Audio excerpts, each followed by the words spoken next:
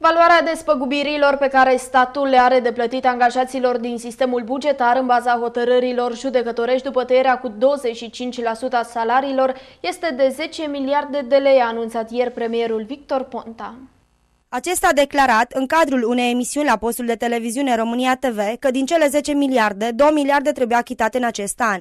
Anul ăsta plătim 2 miliarde de lei pe procesele funcționarilor, magistrați, profesori, împotriva deciziilor luate de guvernul Boc în 2009-2010. Noi plătim că sunt hotărâri definitive și revocabile, a afirmat Ponta.